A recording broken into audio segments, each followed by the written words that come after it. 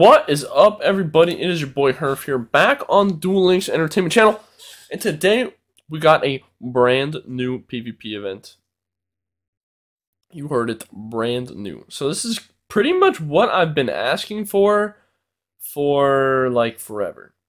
So the last time we got a new PvP event was like over a year ago when uh the the what you call it the turbo duels got introduced uh, and we've basically only had two, P like three PvP events, uh, like two and a half. The special duels I don't really find to be like a PvP event, but anyways, this is like Leo Luna, Leo and Luna Duel Carnival, Turbo Duels, and then now we got this. So pretty nice. So we're gonna be going through all the rewards and the format and the best ways to go through it.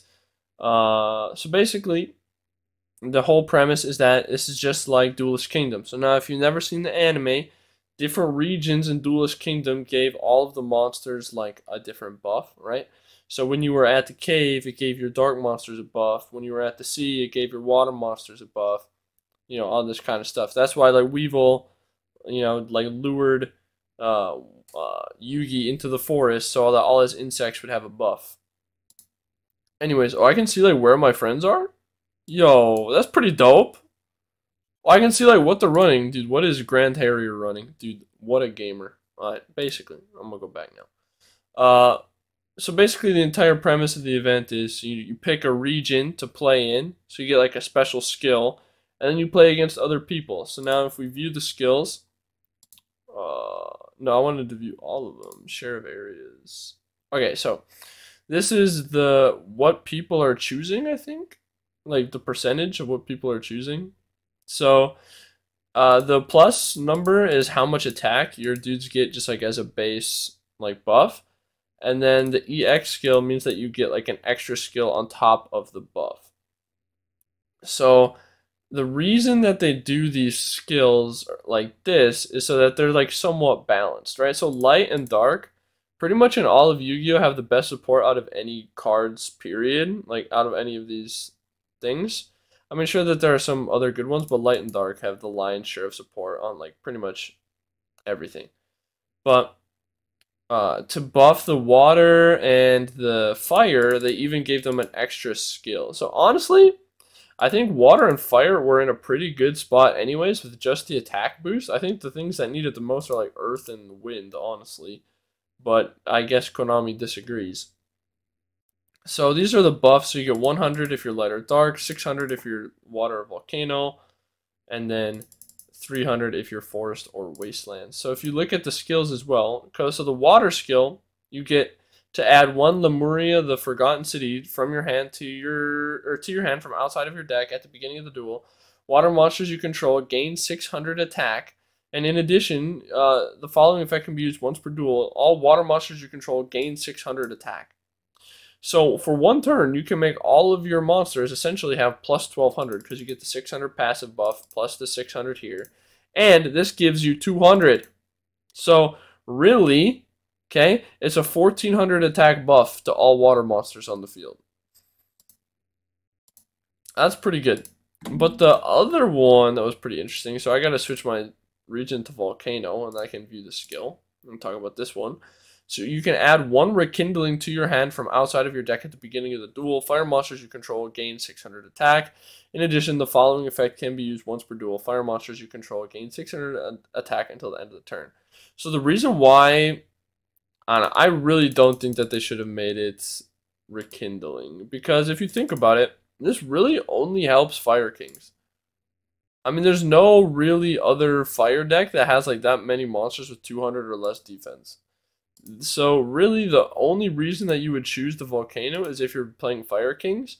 And that is a huge buff to Fire Kings, by the way. Plus 600 attack, plus a rekindling for free is absolutely insane. So if you're going for just like sheer like strength, I think like Water exceeds in the ocean. Or I also think that uh, Fire Kings and the Volcano are like the two best options. Uh, but if you're just going for sheer speed, uh, like so you get points for winning or losing. You get 50 for winning, and I can't remember what it is for losing. But you just go in with a suicide deck and you just farm super super fast and then you get to go to the Pegasus Castle because that's where the most of the rewards are anyways. So if we look at the event details, um, okay, so you collect okay star chips, then players will rewards based on the duels against Pegasus. So the only the duels against Pegasus will actually give you the like card drops. And then here are the cards that we're getting in the game. So these are reprints. I don't think that these are good. Is this one good for each equip card? Uh, that's pretty bad. Uh, this is okay, but this card, okay.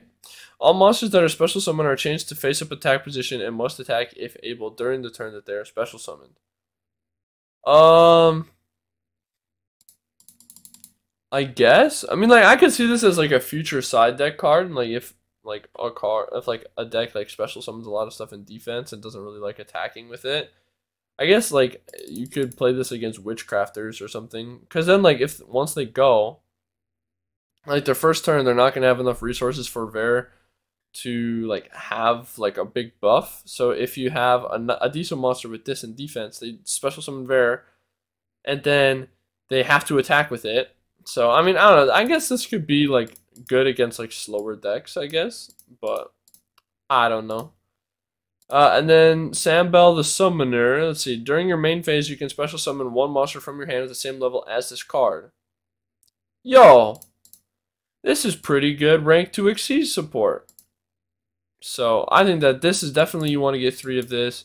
You should probably get three of this. So the the cards pretty decent. Like they have good effects. I don't know if they're really going to be used right away or at all, but they have good effects that are definitely worth picking up just in case stuff becomes good. I mean, I could see this like making Melffy's a little better. I don't know, or the like the raccoon stuff. I mean, there's some decent rank twos. I don't know, whatever. But anyways, so the fastest way to grind through the event. Wait, I think that the um, it should be cosmetics as well. I think I saw some. Yeah, yeah. Okay, so this is the mat, which is kind of dope looking. Okay? And let me see if I can find the sleeves. I think I went too far. So the mat is good. The sleeves. Yo. That's kind of nice. No cap. I don't know if you guys can really see it. Oh, yeah, you guys can see it. But the sleeves and the map both look nice.